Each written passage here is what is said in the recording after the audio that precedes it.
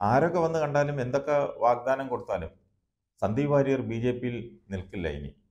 പറഞ്ഞ കാര്യങ്ങളിൽ മാറ്റമില്ലെന്നും അതിൽ ഉറച്ചു നിൽക്കുന്നുവെന്നും ഇന്നലെയും സന്ദീപ് ആവർത്തിച്ചു.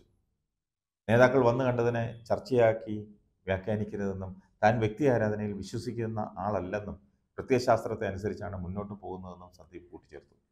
അതേസമയം സന്ദീപ് വാര്യർ പരസ്യ പ്രതികരണം ഒഴിവാക്കണമെന്ന് ആർ നിർദ്ദേശിച്ചിട്ടുണ്ട്.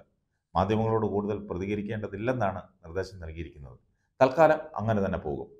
ആർ എസ് എസ് പ്രതിനിധിയായ എ ജയകുമാറിനോട് പ്രശ്നങ്ങൾ പറഞ്ഞ് പരാതികൾ നേരത്തെ കേട്ടിരുന്നുവെങ്കിൽ ഈ പ്രശ്നം ഉണ്ടാകുമായിരുന്നില്ലെന്നും പിന്നെ സന്ദീപ് അവരോട് പറഞ്ഞു. വയനാട്ടിലെ പ്രചരണത്തിന്റെ ഏകോപന ചുമതല തന്നത് കെ സുരേന്ദ്രൻ ഔദാര്യമായിട്ടാണ് പറയുന്നത്. അത് അർഹതയ്ക്കുള്ള അംഗീകാരമാണ്.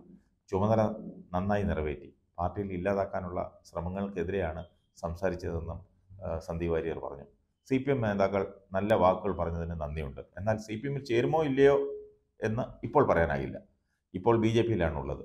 സ്വന്തം ജില്ലയിൽ തന്നെ ഇല്ലാതാക്കാനുള്ള ശ്രമങ്ങൾ നടന്നു.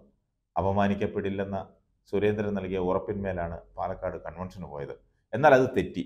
കൺവെൻഷന് പോയപ്പോൾ വീണ്ടും അപമാനിക്കപ്പെട്ടു. ഇത്തരത്തിൽ വീണ്ടും അപമാനം സഹിക്കേണ്ടി വന്നപ്പോഴാണ് കാര്യങ്ങൾ തുറന്നു പറഞ്ഞതെന്നും സുരേന്ദ്രനിൽ നിന്നും ഇത്രയൊന്നും പ്രതീക്ഷിച്ചിരുന്നില്ലെന്നും സന്ദീപ് മാധ്യമങ്ങളോട് പറഞ്ഞു. സന്ദീപ് ഇപ്പോഴും ഉറച്ചു നിൽക്കുകയാണ്.